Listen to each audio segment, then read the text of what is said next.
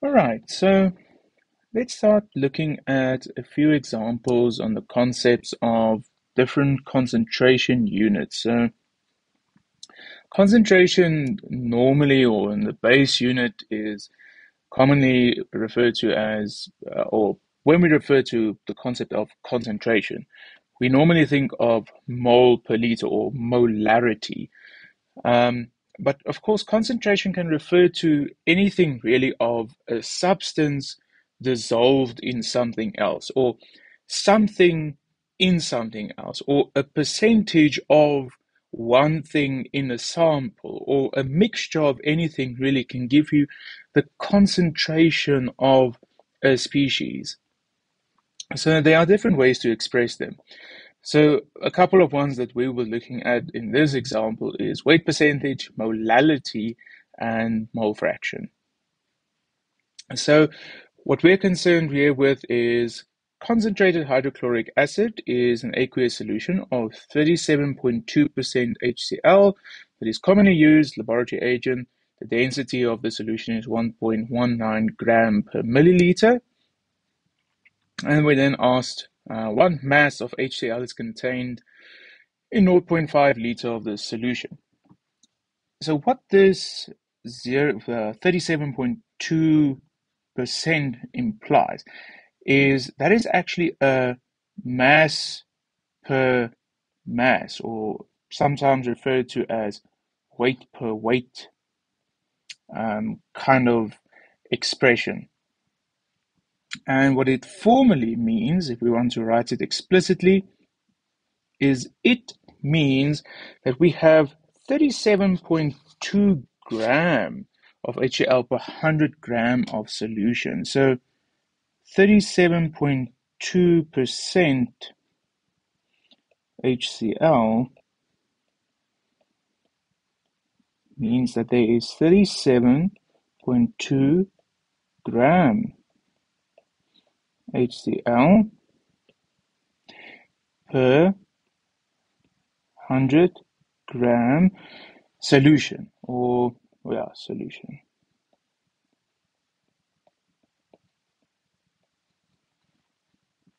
All right. Um, and of course that's going to give us a way to then calculate how much HCl there is in a certain volume of the solution. Because we then ask what mass of HCl is contained in so much volume of the solution. So if we have the mass of the solution, we know how much HCl is in the solution. Right, so we have the volume of the solution, we have the density, hence we can get the mass of the solution, and so we can just use our dimensional analysis to quickly determine that. So the volume of the solution is given as 0.5 zero zero liter. So that means the mass, so this is, M refers to the mass of the solution is equal to the volume of the solution times the density of the solution. So 0 0.500 times 10 to the power so the density is given in milliliter. So this will then be 10 to the power 3 milliliter. Density is 1.19 gram per milliliter. Of course, you just adjust the volume unit to get to a unit that will cancel with your density, and you get a value of 595 gram of solution.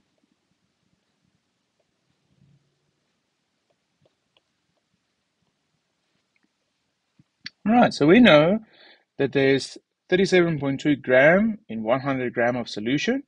So that means if we have 595 gram of solution, we just multiply those two things together to get the mass of HCl. So therefore the mass of HCl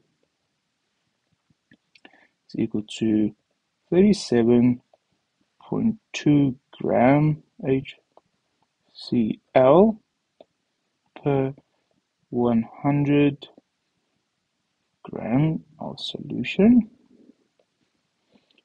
we have 595 gram solution. That gives us a value of 221 gram HCl. Okay. I think that and that's basically just uh, this example is just to give you an idea of what would typically 37.2% HCl refer to. It refers to a mass per mass or weight per weight um, basis um, unit. Sometimes it will be given more explicit, but usually percentage refers to a mass unit rather than something like mole fraction or molarity or molality. Um, those things will refer to, will be given explicitly or stated explicitly. If it's a percentage, then it normally refers to a mass. Um, it's a more conventional way to speak because we know a mass. If you say something consists of 70% um, alcohol, then you know well, alcohol is a liquid, so then it makes sense that we might be speaking about a volume. In other words, so many so many liter per whatever. But if you're speaking about, uh, let's say, for example, sodium chloride in water, then and we tell you it's 30%, then you know it might be speaking about a mass per volume um, kind of unit because sodium chloride uh, is normally a solid at room temperature. Well, I say normally, it is a solid at room temperature or STP, and water um, is called is a liquid. So uh, it's kind of common sense. The question here is a bit ambiguous, but you can arrive at the idea of that it's an aqueous solution. So, and it's going to refer to a mass per mass basis here. So, or at least that's what I was trying to explain here. Right. So, anyway, let's move on. Calculate the mole fraction and molality of the concentrated acid. So let's start by what are the base definitions that we need. So mole fraction of HCl, so mole fraction of anything would be the number of moles of the thing that you're interested in divided by the total number of moles of the mixture. So that would be the number of moles of it plus the number of moles of how many other things that they are and it's a solution, so it means there is water present. So it's actually uh, water. And molality, which is also given the symbol M, but let's write it out to just not confuse ourselves. So let's write molality.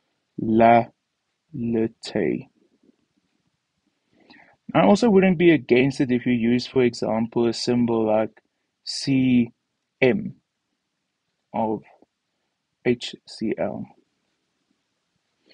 Maybe it's a molality of HCl. Right, so maybe just help yourself instead of writing MHCl, and I mean that looks like the mass of HCl. I mean, um, but in principle, it's the symbol is MHCl, and that of course is the number of moles of HCl divided by the mass of the solvent, which in this case is water. Right. So what we need is the number of moles of the solute. And we need the mass of the solvent. Okay, so let's, in both cases, we need the number of moles of HCl, we probably need a number of moles of water, and from that we'll also be able to get the mass of the water. So um, if we take, let's say, um, 100 grams, 100 gram of solution of solution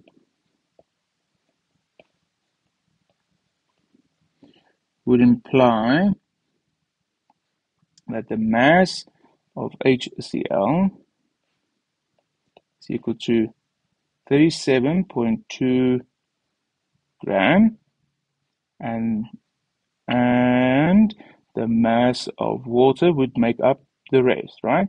Because that's 100 gram of the solution. The solution in total weighs 100 gram, right? So that means water and HCl combined weighs 100 gram, not the water and we add HCl. Don't, don't confuse yourself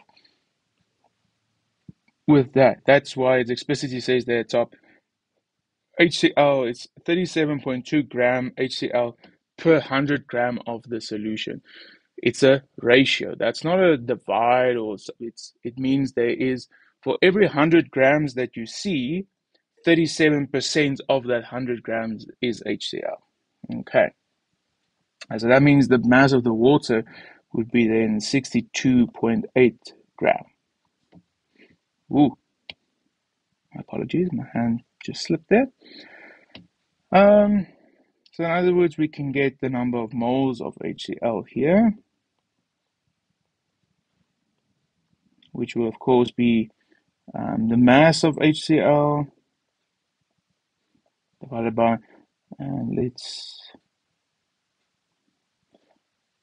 the molar mass of HCl, and the molar mass of HCl is 36.46, let's just make a note of it here. Um, oh, let's write it out. Uh, 37.2 gram divided by 36.46 gram per mole. The number of moles of water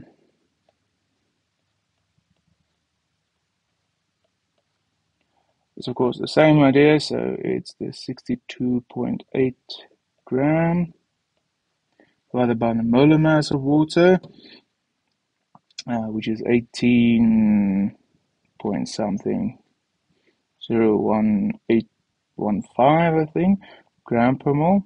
I don't write it somewhere specifically, but you can just check that. You should get a value of 3.48 um, whatever mole water. And of course, the number of moles of HCl here is 1.02 mole HCl. Alright, so we have the number of moles, we have the mass, and that's all the things that we need here. So um, that means the mole fraction of HCl is then equal to, you can plug in those values there, so it's 0.12 over 0.12 plus 3.48, uh, you should get a value of 0.226. And therefore, so let's call it Cm of HCl.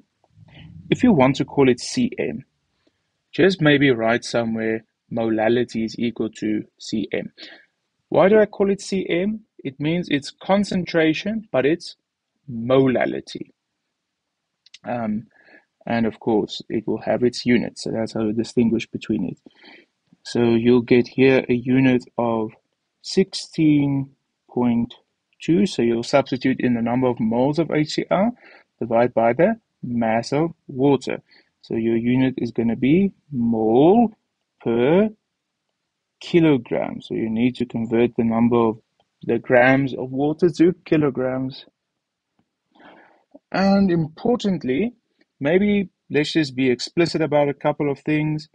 You can write this as 16.2 mole HCl per kilogram H2O, just so that you know, or what is the unit? It's 16.2 molal. So that is the unit of molality. It is molal. Just like molarity's unit is molar. So um, 16.2 molal. All right. So um, this is just a basic example to introduce the concept of the units, how to cancel them and how to use them. I hope it kind of makes sense just to uh, get it. The mo the one I'm most concerned about is the molality. Um, to get it, it's mole per kilogram of solvent. Um, so make a big note somewhere of what it is and the differences between it and normal concentration in molarity. Uh, then you should be fine. All right. Uh, thank you for watching and I'll see you in the next video.